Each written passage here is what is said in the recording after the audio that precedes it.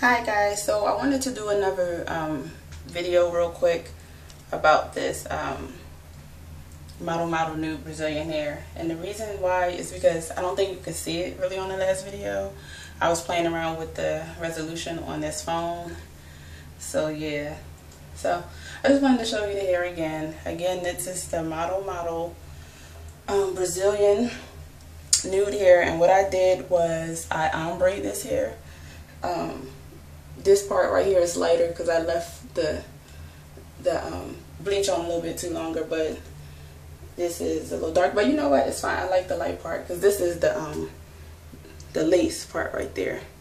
Um, I made a a lace wig by the way.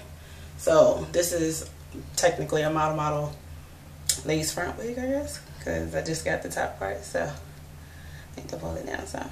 But yeah I really like this. Like this hair let me tell you it was frizzy at first but then I put some of this in it. The John Frieda Frizz Ease. Girl let me tell you. This stuff I should have I'm gonna show y'all again like but this stuff was like sleek. It didn't even have but I had combed it out but I'm just mm, I'm gonna wash it again and show y'all. But that stuff works and you know what I did? I put it on the hair when it was wet. So when you put it on the hair when it's wet it's a major difference. So yeah it looked really nice so I just wanted to show y'all again in a different lighting where you can actually see it this time. And I'll talk to you guys later. Bye